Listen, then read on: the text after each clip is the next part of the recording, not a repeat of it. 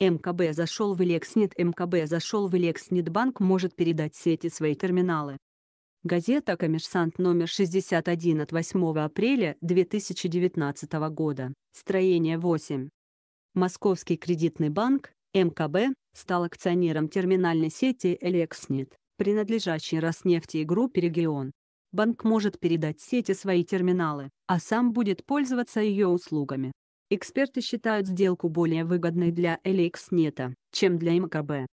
МКБ в конце 2018 года получил 49% в LXNet, сообщил твердый знак источник в банке, а затем подтвердили в его пресс-службе.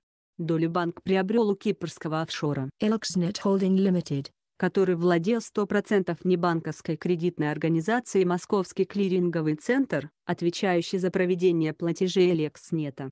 Сам офшор в 2018 году приобрели у граждан, основателей сети и фонда Mint Capital, структуры группы «Регион» и структуры «Роснефти». Таким образом, они сохранили 51% в Элекснете. 11,2 тысячи. C, Объединенная сеть платежных терминалов МКБ и Элекснет. Элекснет начал сотрудничать с МКБ сразу после покупки сети структурами региона и Роснефти.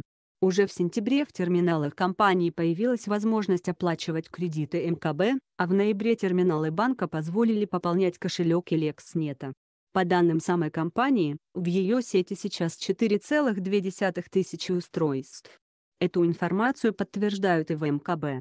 Ключевая особенность в том, что Элекснет оказывает услуги именно через собственную сеть, пояснили в банке. У МКБ собственных устройств более 7 тысяч в результате слияния инфраструктуры образуется сеть более чем в 11 тысячах устройств фактически во всех регионах РФ. Единый парк займет второе место на рынке по выручке, доступности сети, количеству получателей услуг.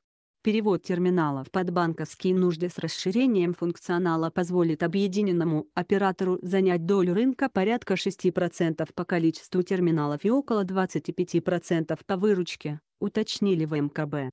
По данным ЦБ за 2017 год, более поздней статистики нет, в целом в России работает около 350 тысяч платежных терминалов небанковских организаций чуть меньше 10 тысяч у банков. Исходя из этого доля общей инфраструктуры МКБ и Элекснета на рынке составят около 3%.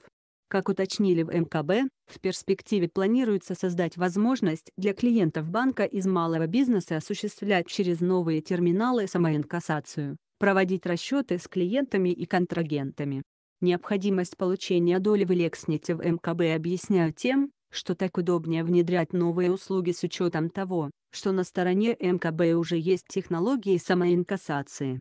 По информации источника «Твердый знак», банк рассматривает возможность передачи всех своих терминалов Элекснету.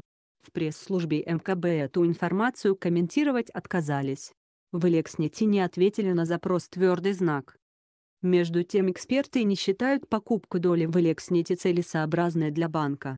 Сейчас активно растет доля безналичных расчетов, а количество банкоматов снижается, и в этих условиях логичнее заключать агентский договор, считает председатель правления Национального платежного совета Алма Абаева. МКБ мог просто сделать Элекснет агентом по приему наличных для банка в терминалах сети. С этим согласен гендиректор аналитического агентства «Бизнесдрам» Павел Самиев.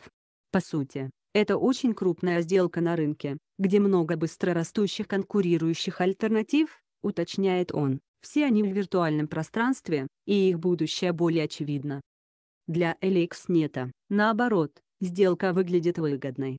Мне кажется, что LXNet потерял какую-то динамику развития и долю рынка, считает исполнительный директор Национальной платежной ассоциации Мария Михайлова. Для него партнер в виде банка, который на своих условиях наполнит терминалы продуктами, создает возможность развиваться.